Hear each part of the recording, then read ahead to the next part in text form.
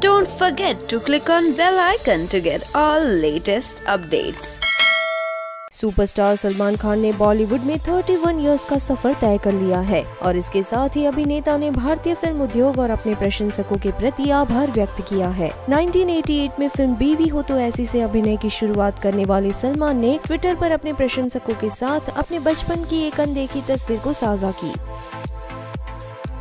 तस्वीर के कैप्शन में उन्होंने लिखा, भारतीय फ़िल्म उद्योग और 31 साल के सफ़र का हिस्सा बनने वाले सभी लोगों, विशेष रूप से इस अद्भुत सफ़र को संभव बनाने वाले मेरे सभी प्रशंसकों और शुभ चिंतकों का बहुत बहुत धन्यवाद। दिग्गज पटकथा लेखक सलीम खान और सलमा खान के बेटे सलमान खान ने, मैंने प्यार किया, सनम बेवफा, साजन, अंदाज अपना अपना, हम आपके हैं कौन, करण अर्जुन, हम दिल दे चुके सनम, हम तुम्हारे हैं सनम, तेरे नाम हम साथ साथ है वांटेड जैसी हिट फ़िल्में दी है। अपने 31 इयर्स के सफ़र में सलमान ने कई शैलियों में काम किया है। जैसे कि comedy film Biwi number one Mujhse Shaadi Karogi Reddy और नो एंट्री इसके बाद साल 2000 में उन्होंने एक्शन फ़िल्मों की तरफ़ रुख किया, जिसमें दबंग वांटेड एक था टाइगर किक टाइगर ज़िंदा है शामिल है।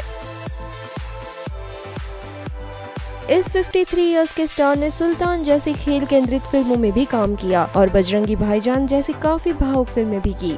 अपने अभिनय करियर के अलावा सलमान एक निर्माता, एक टेलीविज़न प्रस्तुत करता है और अपनी चैरिटी संस्था बीइंग ह्यूमन फाउंडेशन के माध्यम से जरूरतमंद लोगों की मदद भी करते हैं। बॉलीवुड सुपरस्टार सलमान खान की आगामी फ़िल्म दबंग थ्री बीस दिसंबर को रिलीज़ होने जा रही है। Bureau report, Indian film history. For more interesting and updated Bollywood news please subscribe Indian film history YouTube channel